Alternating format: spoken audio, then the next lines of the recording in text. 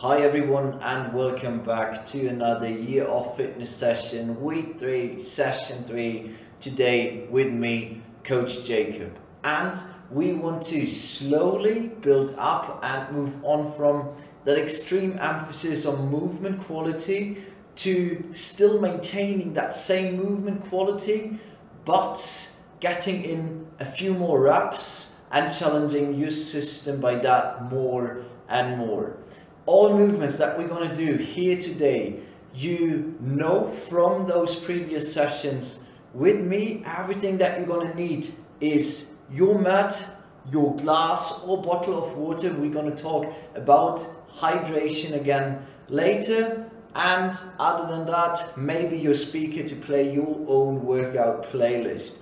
All right. Other than that, nothing needed. If you have some weights, some dumbbells, some kettlebells, a barbell at home, feel free, use it um, according to your own discretion and liking. All right. With all that being said, let's not waste any more time. Let's jump into our preparation to get ready for one strength block and one metabolic conditioning challenger at the end. All right. So we want to kick off today's session, today's workout, really nice and easy. All right, we want to start with some breathing to set our intention for today's session. So, with me, please move into our heel sit. All right, torso nice and upright, proud chest. What we want to do is some box breathing. All right, box breathing we inhale, hold, exhale, hold. We want to try that today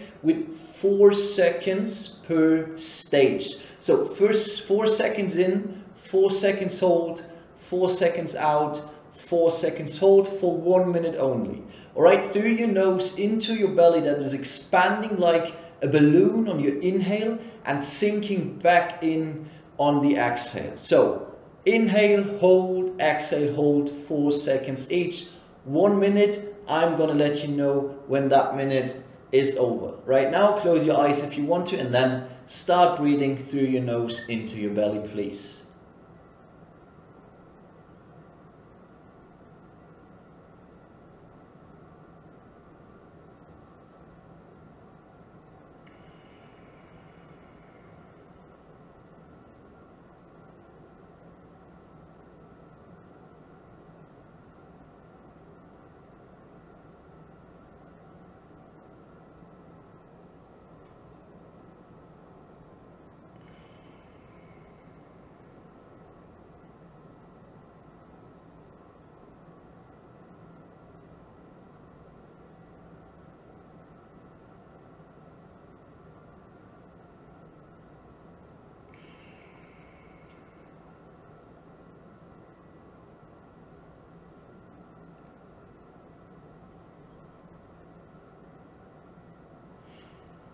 Right everyone.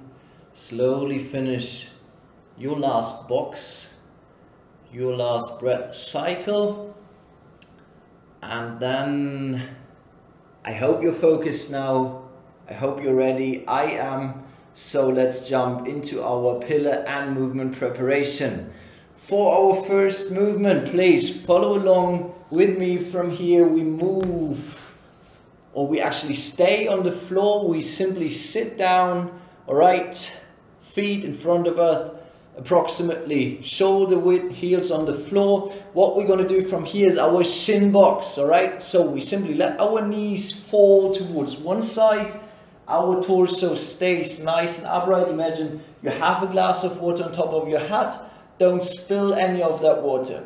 What we're gonna add here today is a hip thrust, all right? So right now I'm gonna bring my hip forward, all right? And I move into our half kneeling position. Half kneeling position to get a nice stretch for that quad hip flexor area by reaching towards the ceiling wherever our knee is still on the ground. That's where my arm is going towards the sky then I lean towards my front leg, lean back and move back through our shin box. All right, now we switch sides, same thing, Nice and upright here, all right? Hip thrust, move into half kneeling position, getting that quad hip flexor stretch by leaning towards that front leg again. Now on the opposite leg, move through your shin box. Of course, you can use your arms and hands as assistance behind you to maintain that nice posture here. All right, and then give me three reps on each side. That's my second rep on that first side.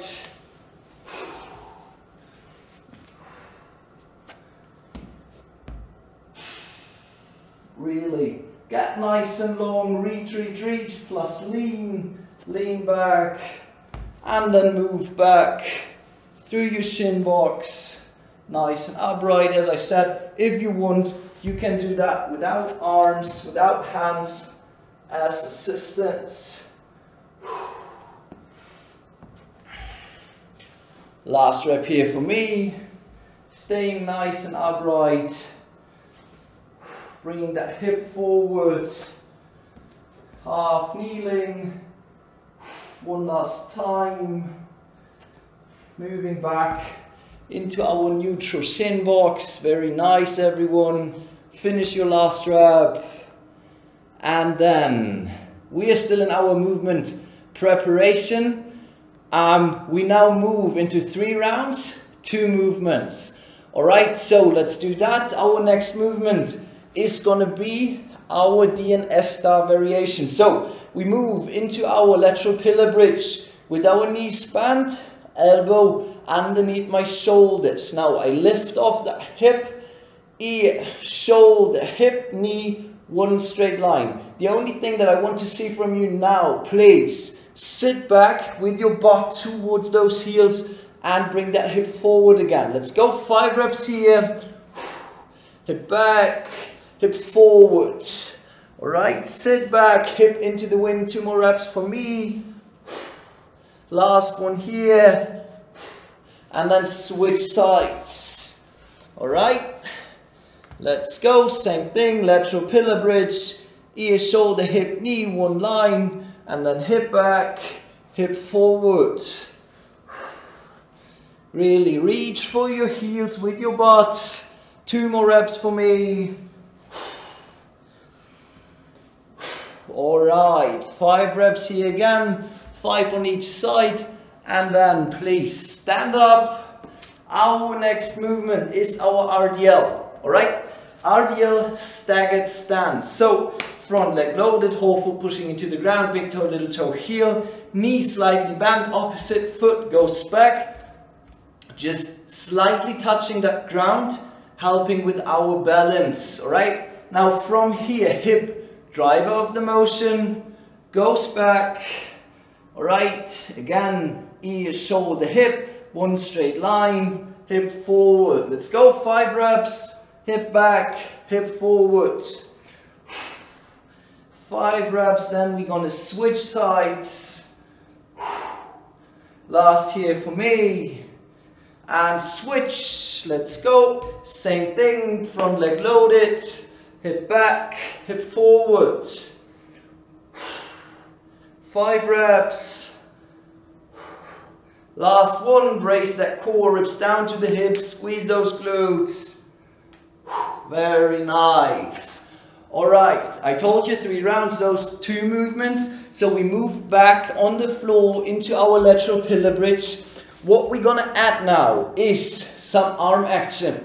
All right, so lateral pillar bridge, you remember, ear, shoulder, hip, knee, one line, hip off the ground. Now, as soon as we sit back, we reach forward with that hand.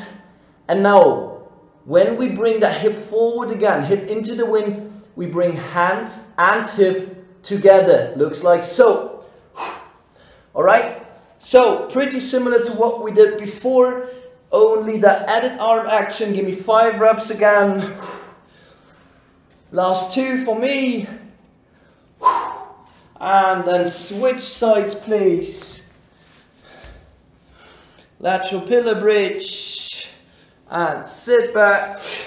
Bring hand and hip together. Three more reps for me. Reach, reach, reach.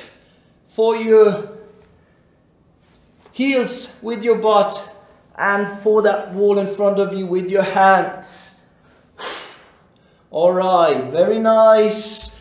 Then please stand back up for our RDL. Now slight variation also here. Back into our staggered stance. We start nice and upright with that Y, okay? Hands and arms overhead. Now in that position, that nice straight line from hand all the way down to your hip. We pivot over, all right? As soon as we are in our end range, hands go back and we come up normally, okay, as we did before. Now here, hands go overhead again into that big Y, thumbs pointing backwards, pivot over, hands back, hip forward. Let's go, five reps again. Some tiny distraction for you, but at the end of the day, it's still hip back, hip forward. Hip is the quarterback here. Don't let that arm action distract you from that main movement pattern in your hip. Let's go. Reach, reach, reach. On that way back. Hands down again on your way up. Eccentric downward face. Arms overhead. Upward concentric face regularly. Two more reps here for me. Own those positions. Last one. Reaching overhead.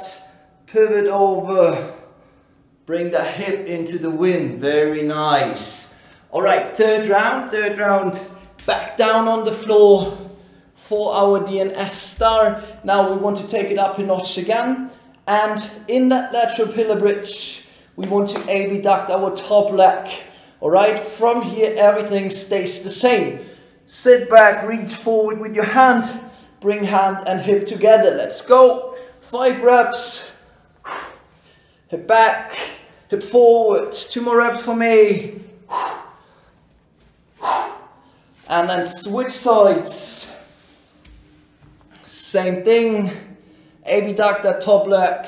Hip back, hip forward. Reach, reach, reach. Sit down and bring that hip forward. Two more reps for me. Last one here. Very nice, very nice everyone. Finish your last reps and then please stand up for our RDL. Now, in that last round, we keep our arms in that Y the whole time. All right, downward eccentric and upwards concentric.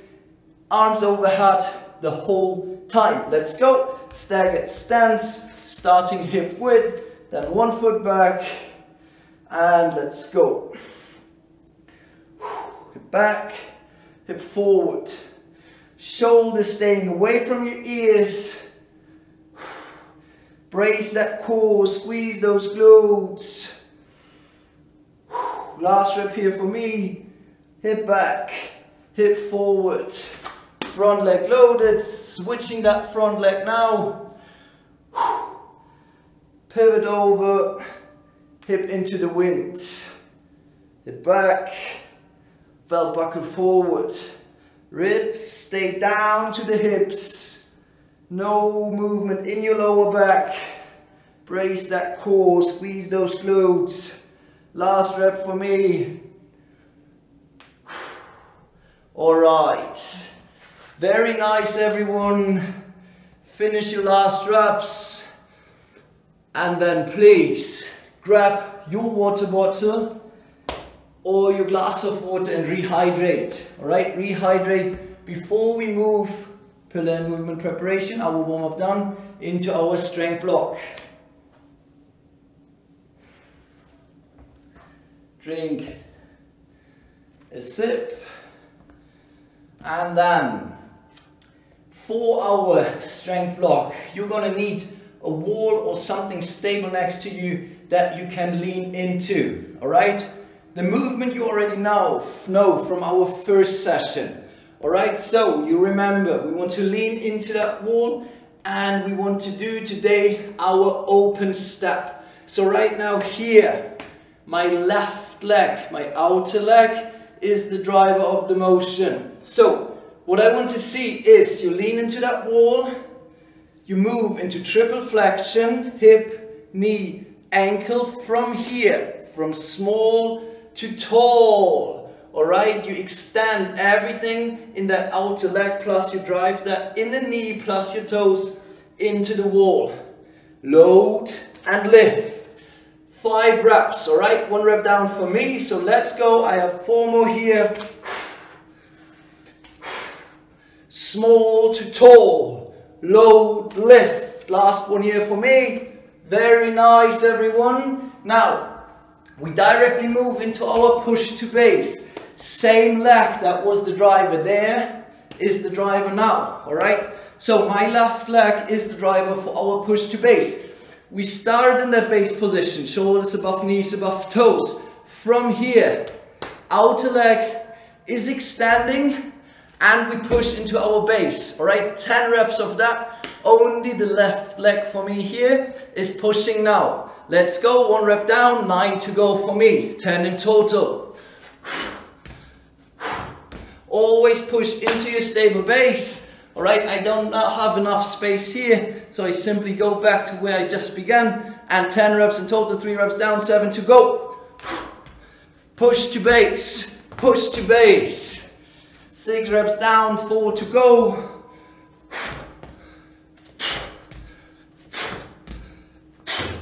Very nice, everyone. Now, we're simply to switch sides. So, opposite leg is the driver now. Back to that wall for your open step. Let's go.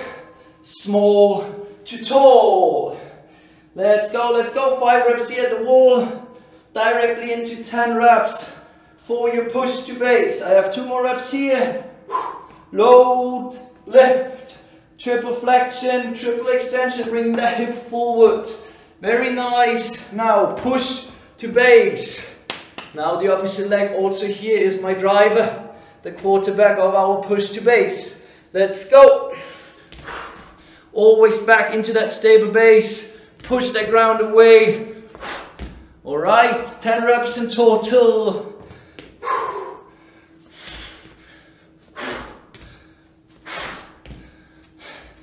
I have four more reps here six down.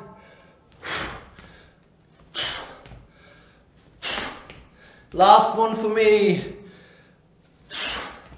All right, very nice. So, those are our two movements for our strength block, plus one additional movement, kind of a corrective.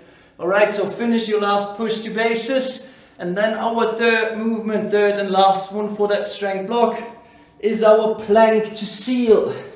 So we move into our plank position, head to heel strong as steel. I want you to own that position, all right? Ear, shoulder, hip, knee, ankle, one straight line. From here, I let my hip sink into that ground. Try to stay upright in my torso, look straight forward, hold it for a few seconds back into a stable plank. All right, ribs down to the hips and relax into seal. Two reps down for me, three to go. Brace everything, tighten up everything you have in the plank and then relax into your seal. Two more reps for me.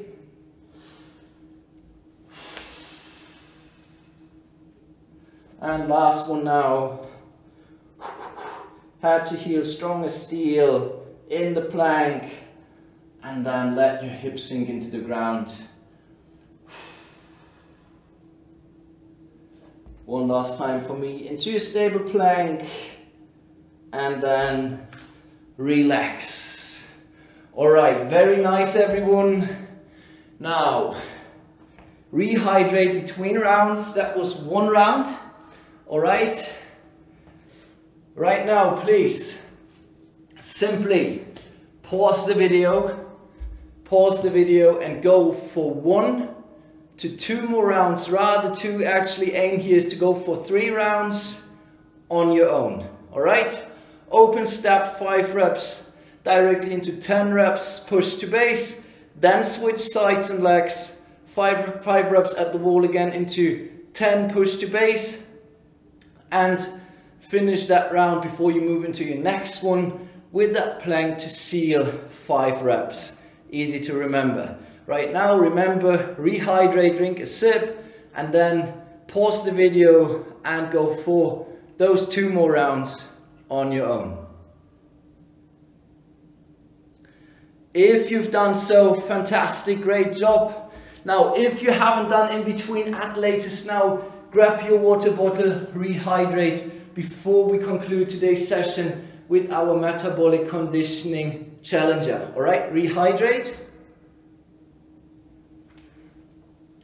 And to give you a few more moments of rest, you can still catch your breath, mentally prepare for our last part. I will quickly talk with you about hydration. In that first session with me, I already told you how much you should drink every day. It was, do you remember? 50% of your body weight in pounds in ounces of water. So let's say my body weight is 200 pounds, all right, just to make it a bit more easy for me to calculate. 200 pounds, I should drink 100 ounces per day, ounces of water per day, all right? 50% of my body weight in pounds, in ounces of water. So how to make that easier? One trick that I want to share with you, easy thing, grab and actually get your favorite bottle. All right, research shows, and I can confirm that if you have your favorite bottle at home that you take with you every day to work or wherever you go, it's always filled up with water, you will automatically remember to drink. All right, so choose, get your favorite water bottle and take it with you every day. It's that one I have here, it's actually a quite simple one. It's actually a shaker, but it's easy to refill. It's fantastic. So I just make sure by having that one with me every day to stay hydrated. All right? So that's something easy that you can incorporate into your day. Fantastic. All right, enough of me talking. We want to tackle our last bit for today, our metabolic conditioning challenger. Today we go for an AMRAP of 5 minutes, as many repetitions or as many rounds as possible in 5 minutes. The format is slightly different to what we did last week in that AMRAP for example. So today in those 5 minutes, as soon as the time starts running, we have a buy-in. Okay, so something we have to finish before we actually are allowed to go on. Our buy-in is going to be a glute bridge with our shoulders elevated. Okay?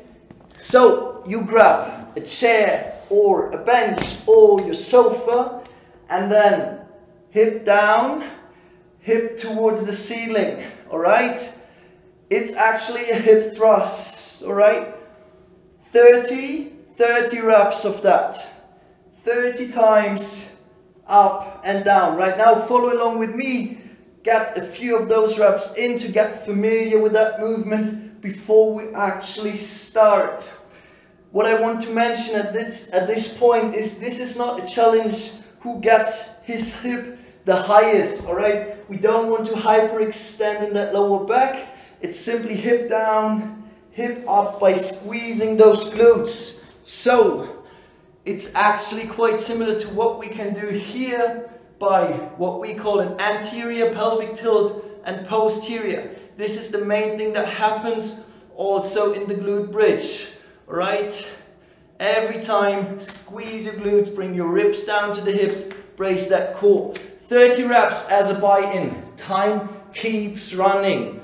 As soon as you are done with that, you have two movements that you're gonna alternate between afterwards.